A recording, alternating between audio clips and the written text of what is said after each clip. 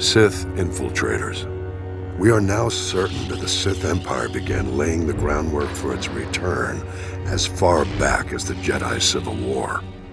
In fact, it's clear that the origins of the Jedi Civil War itself were not as simple as we once believed. The Sith Emperor's first representatives to return to Republic space are well-known names. Darth Revan and Darth Malak. Revan is remembered now as a legend, a great hero of the Jedi Order. But that was only after his redemption. Revan and Malak first rebelled against the Jedi Council by ignoring orders and assisting the Republic during the Mandalorian Wars. Revan's success in defeating the Mandalorians caused the Council to question its orders, but none realized how far Revan had already fallen. After their crushing victory on Malachor 5, Revan and Malak chased the Mandalorians into deep space. It was there on Dromund Kaas that they encountered another enemy entirely, the Sith Empire Reborn. We know nothing of what transpired when Revan and Malak met the Sith Emperor. One thing is certain, when they returned, they did so on behalf of their new Dark Master. The fall of Revan and Malak to the dark side was complete. The Emperor sent them back to the Republic to make preparations for a full-scale Sith invasion.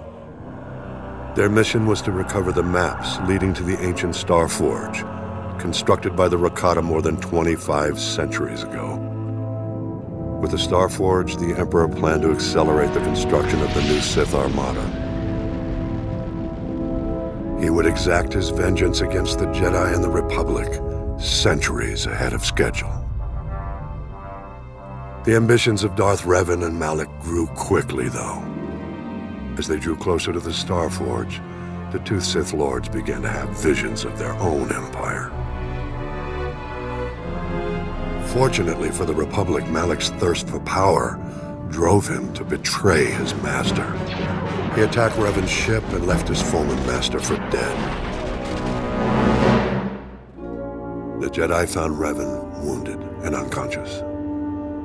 After much debate, the Council made a controversial decision to erase Revan's memory and retrain him as a Jedi.